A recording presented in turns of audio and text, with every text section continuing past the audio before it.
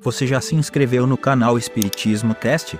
Não esqueça de ativar o sininho e todas as notificações. Assim te informaremos quando houver novos vídeos. E ajude a manter este trabalho voluntário, clicando em Seja Membro. Com isso você nos ajuda a produzir mais conteúdo sobre nossa rica doutrina, com a melhor qualidade técnica possível. E não se esqueça de clicar no like e compartilhar com seus amigos. Gratidão pela sua presença.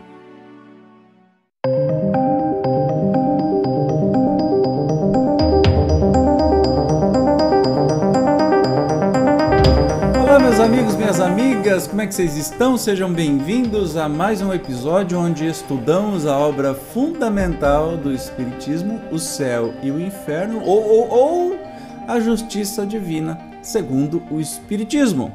Aqui é quebra tudo, né? Se você não está preparado, eu recomendo não assista, não ouça, porque a gente quebra tudo aí é, que é o papel da doutrina espírita libertadora. Né? Hoje nós vamos começar um capítulo novo, o sétimo, as penas futuras, segundo o Espiritismo. Especificamente, vamos ver sobre a carne é fraca. Há tendências viciosas que são evidentemente próprias do espírito, porque se apegam mais ao moral do que ao físico. Outras parecem antes dependentes do organismo, e, por esse motivo, menos responsáveis são julgados os que as possuem consideram-se como tais as disposições à cólera, à preguiça, à sensualidade, etc. Hoje está plenamente reconhecido pelos filósofos espiritualistas que os órgãos cerebrais correspondentes a diversas aptidões devem o seu desenvolvimento à atividade do espírito. Assim, esse desenvolvimento é um efeito, e não uma causa. Um homem não é músico porque tem a bossa da música, mas possui essa tendência porque o seu espírito é musical. Se a atividade do espírito reage sobre o cérebro, deve também reagir sobre as outras partes do organismo. O espírito é, deste modo, o artista do próprio corpo, por ele talhado, por assim dizer, a feição das suas necessidades e a manifestação das suas tendências. Que coisa linda, gente! Eu não sabia.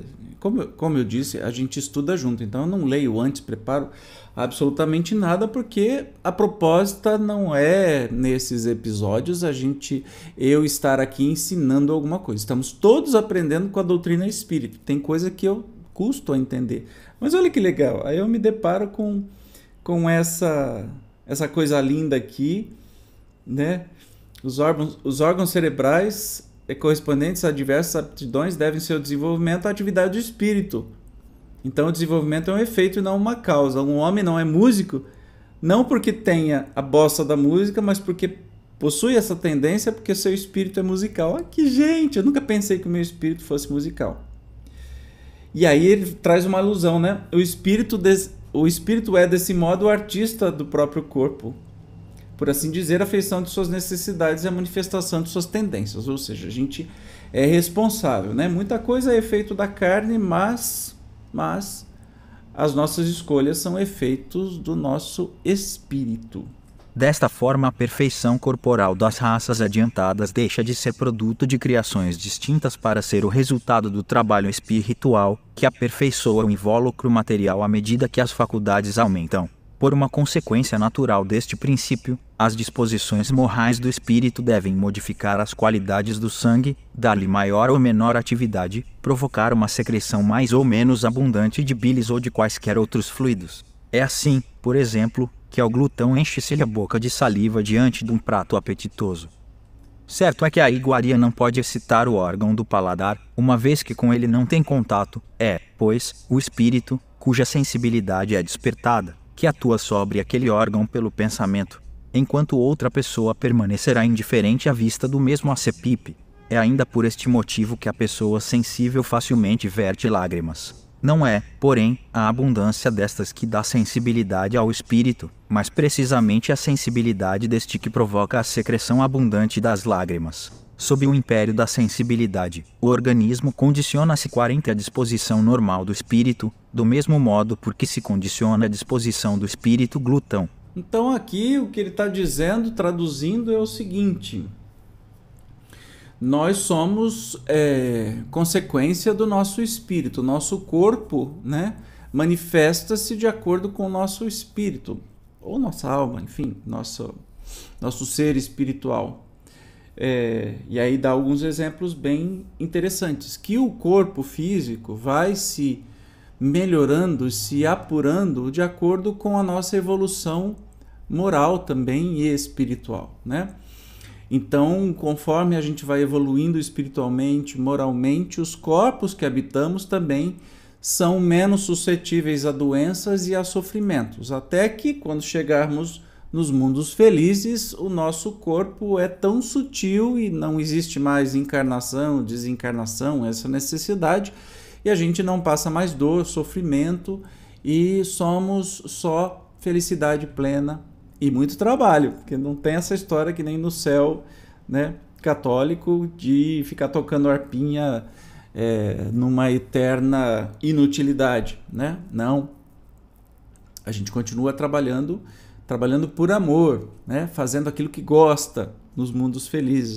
Já vista Jesus que se encarnou, se materializou no nosso meio para vir dar uma diquinha. Olha, o caminho é para cá, tá? Não, não, não, se perde não. O que que fizeram? Foram lá e pff, mataram Jesus, porque incomodava o sistema, parava de lucrar o sistema religioso com Jesus quando ele entrou no templo, dizendo assim: que vergonha, para que isso? Deus não precisa disso. Esse monte de coisa vendida, que tem que fazer sacrifício disso, vender animal, vender. Jesus foi lá e chicoteou todo mundo. Todo mundo nada, ele derrubou algumas barracas. E isso incomodou o sistema financeiro. E a tal religião, que eu já repeti né? Eu já falei muitas vezes e digo assim que se coloca como aquela que vai religar o homem a Deus, como se a gente precisasse disso, como se a gente não fosse parte integrante, né? Ligado sempre a Deus. Só que você tem que pagar o pedágio, né? Então o nosso espírito sempre vai é, sempre vai é, dominar o nosso corpo. Aí ele cita exemplos de que aqueles que são comilões, né, vê um prato que gosta e começa a salivar. Não foi o corpo que fez isso, e sim o espírito. Que uma outra pessoa que não gosta daquele prato não vai salivar, né? Então, é o espírito que manda especialmente no corpo. Mas vamos seguir aí com as considerações de hoje. Seguindo esta ordem de ideias, compreende-se que um espírito irascível deve encaminhar-se para estimular um temperamento bilioso, do que resulta não ser um homem colérico por bilioso, mas bilioso por colérico. O mesmo se dá em relação a todas as outras disposições instintivas. Um espírito indolente e fraco deixará o organismo em estado de atonia relativo ao seu caráter, ao passo que, ativo e enérgico, dará ao sangue como aos nervos qualidades perfeitamente opostas. A ação do espírito sobre o físico é tão evidente que não raro vemos graves desordens orgânicas sobrevirem a violentas comoções morais. A expressão vulgar, a emoção transtornou-lhe o sangue não é tão destituída de sentido quanto se poderia supor. Ora, que poderia transtornar o sangue senão as disposições morais do espírito? Pode admitir-se, por conseguinte, ao menos em parte, que o temperamento é determinado pela natureza do espírito, que é causa e não efeito. Isso faz sentido para você? para mim faz todo sentido do mundo, porque parece que uh, eu vivo muitas vezes, né? Tem momentos da vida que a gente se sente infinitamente frágil, derrubado, jogado, é aí que a gente adoece, a gente gripa, né? A gente se torna mais vulnerável a doenças oportunistas. Tem momentos que a gente está muito mais forte, ativo, então nada acontece. Tem momentos que a gente está muito estressado com o trabalho, ou seja lá com o que for, e a gente se auto-envenena, né? gera aí uma gastrite, uma úlcera nervosa, problemas psiquiátricos, desequilibra todo o, o processo químico do cerebral.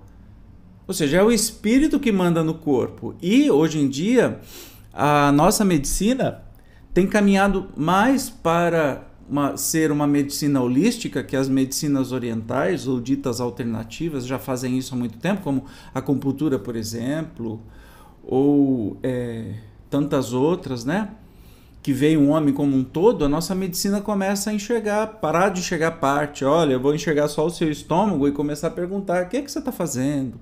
Como você está se comportando? Né? Você está ficando com raiva? Você está ficando muito nervoso? Porque quem determina o que o nosso corpo vai passar é o próprio espírito. E nós dizemos em parte, porque há casos em que o físico influi evidentemente sobre o moral, tais como quando um estado mórbido ou anormal é determinado por causa externa, acidental, independente do espírito, como sejam a temperatura, o clima, os defeitos físicos congênitos, uma doença passageira, etc. A moral do espírito pode, nesses casos, ser afetado em suas manifestações pelo estado patológico, sem que a sua natureza intrínseca seja modificada. Escusar-se de seus erros por fraqueza da carne não passa de sofisma para escapar a responsabilidades. A carne só é fraca porque o espírito é fraco, o que inverte a questão, deixando aquele a responsabilidade de todos os seus atos. A carne, destituída de pensamento e vontade, não pode prevalecer jamais sobre o espírito, que é um ser pensante de vontade própria. Bem curioso, né? Agora eu estou entendendo porque o título A Carne é Fraca é desculpa dos fracos. Se a carne é fraca, o corpo é fraco, é porque o espírito é fraco, né? Já que nós somos, nós temos poder sobre o nosso próprio corpo, né? Mas que a gente pode não saber controlar, mas que temos, temos. O espírito é quem dá à carne as qualidades correspondentes ao seu instinto, tal como o artista que imprime a obra material o cunho do seu gênio. Liberto dos instintos da bestialidade, o espírito elabora um corpo que não é mais um tirano de sua aspiração para a espiritualidade do seu ser, e é quando o homem passa a comer para viver e não mais vive para comer. A responsabilidade moral dos atos de vida fica, portanto, intacta, mas a razão nos diz que as consequências dessa responsabilidade devem ser proporcionais ao desenvolvimento intelectual do espírito. Assim, quanto mais esclarecido for este, menos desculpável se torna uma vez que com a inteligência e o senso moral nascem as noções do bem e do mal, do justo e do injusto. Esta lei explica o insucesso da medicina em certos casos, desde que o temperamento é um efeito, e não uma causa. Todo esforço para modificá-lo se nulifica ante as disposições morais do espírito, opondo-lhe uma resistência inconsciente que neutraliza a ação terapêutica. Por conseguinte, sobre a causa primordial é que se deve atuar. Daí, se puderdes, coragem ao poltrão, e vereis para logo cessados os efeitos fisiológicos do medo.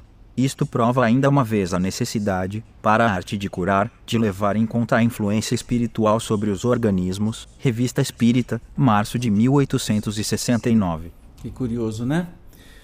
Nós temos aí é, um exemplo claro, né? já que a gente está falando sobre a carne é fraca no, no, no, capítulo, ainda na primeira parte, né, as penas futuras, segundo o Espiritismo, a gente começa a aprender que eh, tudo é consequência dos nossos atos, mesmo quando a gente não sabe, mas o nosso corpo responde ao nosso espírito. O nosso espírito controla o corpo. Não somos vítimas. Nunca seremos vítimas.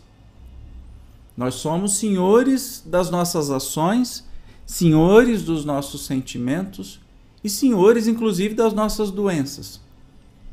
De alguma maneira, ainda a gente não consegue controlar, mas somos causadores das nossas doenças. A gente não está sendo castigado por nada. Então, assim, aí eu entendi por que isso está em penas futuras, né? Por exemplo, eu tenho diabetes mellitus alimentar. Porque fiz um monte de porcaria ao longo dos últimos 20 anos. Sou doido para por carboidrato, não por doce, mas por carboidrato, que dá na mesma, vira açúcar do mesmo jeito. E eu que não corra, eu, eu que não faça exercício, e graças a Deus eu estou conseguindo fazer todo dia, eu que não limite a minha boca para ver o que vai acontecer comigo. É fácil? Não é fácil. Nem um pingo. É um horror, assim, é uma batalha que eu travo com o meu próprio corpo. Eu tenho é, síndrome. É uma síndrome que cresce gordura só entre os órgãos na barriga. Eu tenho barrigão, né? É, acho isso horrível, não queria ter, já pensei um monte de vezes em fazer é, alguma cirurgia de lipoaspiração, morro de medo e tento a todo custo controlar o peso, né? Engorda 2 quilinhos ali, emagrece 3 aqui, depois engorda 4, depois emagrece mais 3 e assim vamos vivendo, tentando controlar pela boca, tentando controlar com exercício físico, porque eu sou o senhor da minha doença. Se eu tenho isso, eu não estou sendo castigado e nem condenado. Se eu mudar de atitude, talvez ela se reverta. Talvez eu não a tenha mais no futuro, né? Se eu emagrecesse 10 quilinhos, tava tudo tão maravilhoso. Mas como é que faz isso, meu pai? Ah, meu Deus. Mesma coisa colesterol. Também tem colesterol alto, tomo um remédio todo dia. É castigo? Não é castigo. É consequência. Porque eu adoro fritura. Como todo dia? Não. Já comi? Já comi. Especialmente quando a gente tem 20 anos de idade, a gente acha que é imortal, né? Você pode comer até pedra que não vai te fazer mal. Mas 20 anos depois, você fica assim, caramba. Teve um ano que eu passei, eu passei a trabalhar aqui no centro de Rio Preto, e eu almoçava todo dia num lugar que é assim, é o portão do inferno de maravilhoso. Mas é o inferno porque assim chama doçura o lugar. Ai meu Deus, até babo. Aí é o meu espírito fazendo eu salivar. Tem uns salgados lá, gente, é uma coisa assim que é de outro mundo. Maravilhoso você comer de vez em quando? Maravilhoso, pode comer, porque senão não vale a pena nem estar tá vivo. Mas eu almoçava todo dia, comia dois salgados e um bolo. ai, ai, eu não tinha barriga. Ai, que vontade de voltar. Quem fez isso? Quem fez essa pena futura para mim mesmo? Eu. Não é que a carne é fraca, é que o meu espírito é fraco sobre isso. Então, a gente encerra hoje dizendo assim: eu sou o exemplo mais claro sobre isso. Ah, quando a gente conseguir controlar os nossos, as nossas vontades, os nossos desejos, como a gente vai moldar corpos mais saudáveis aqui nessa vida. Não precisa nem ter um corpo geneticamente modificado. Se eu tivesse mais força de vontade sobre a minha boca, por exemplo, eu teria um corpo mais saudável.